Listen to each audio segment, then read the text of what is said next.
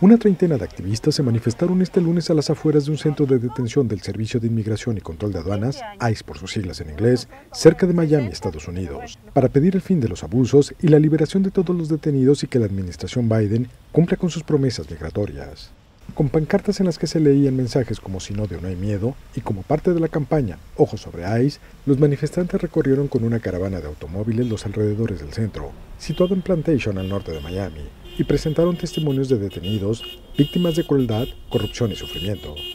Y es que el presidente Joe Biden, que no ha cumplido 100 días en el cargo, no ha podido cambiar todas las medidas para frenar la inmigración y las peticiones de asilo que estableció su antecesor en la Casa Blanca, el republicano Donald Trump. El expresidente y sus seguidores critican a Biden por lo que sí ha cambiado, mientras que las organizaciones pro-inmigrantes por no haber desmantelado totalmente la estructura de Trump.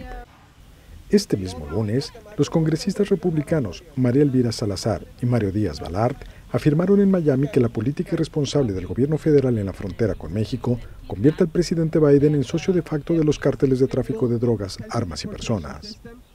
Desde mayo de 2020, con Trump todavía en el poder, se ha producido un aumento lineal de la llegada de inmigrantes y solicitantes de asilo a la frontera con México, tendencia que se ha incrementado notablemente desde que Biden llegó a la Casa Blanca, debido a la percepción de estos extranjeros de que será más fácil entrar al país con el demócrata en el poder.